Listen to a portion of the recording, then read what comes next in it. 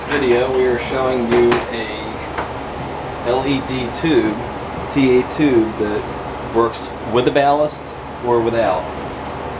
This one is the IntelliTube.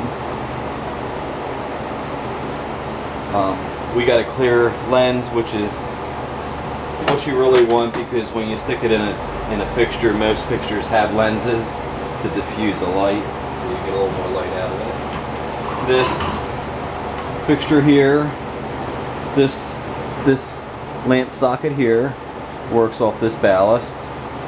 This lamp socket here is wired direct to 120 volts.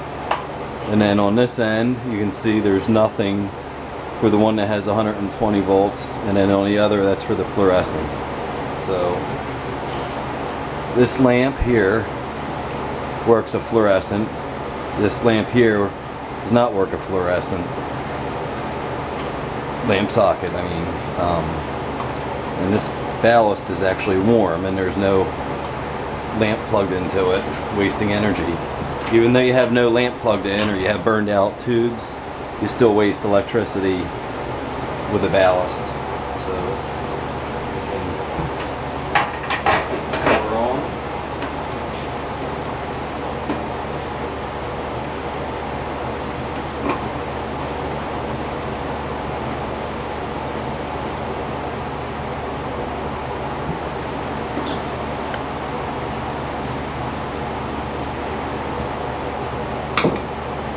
So here is your standard fluorescent.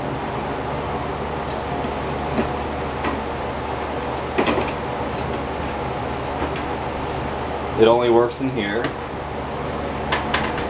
Um, the big famous question is what happens if you stick a fluorescent tube into a socket here that's already been wired for 120 volts.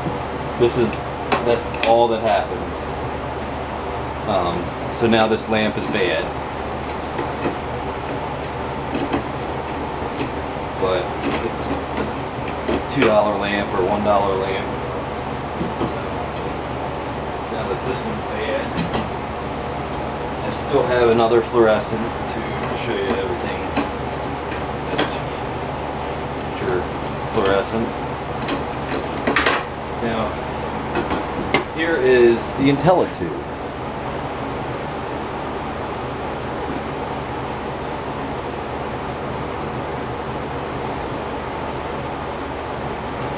lamp.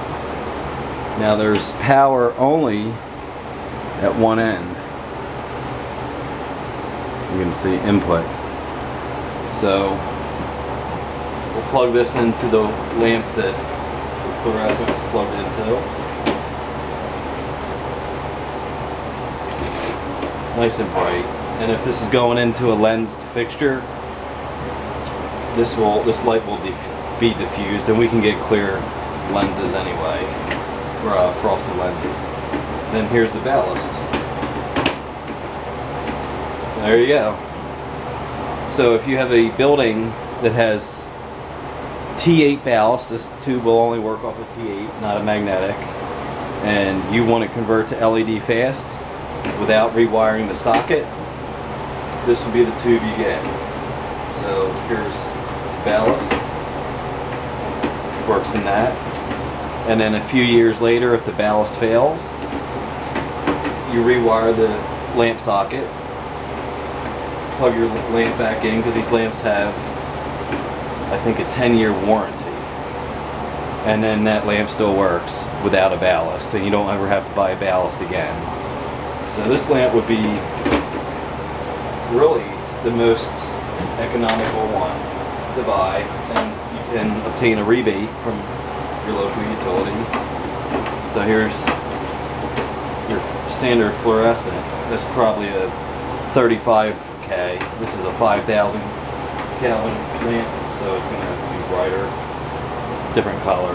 So that's probably 3,000, 3,500, 5,000, but we can get these in all different colors.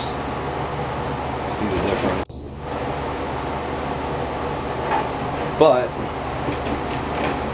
As you see, I'll destroy another lamp.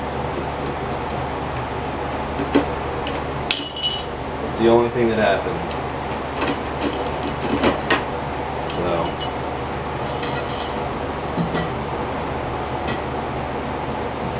Here is your IntelliTube. Ballast. Works off of ballast. No wiring, just plug and play.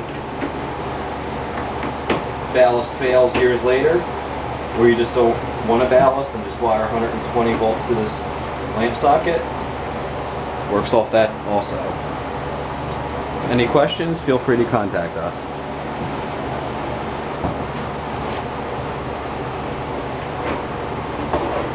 Uh, decent amount of light.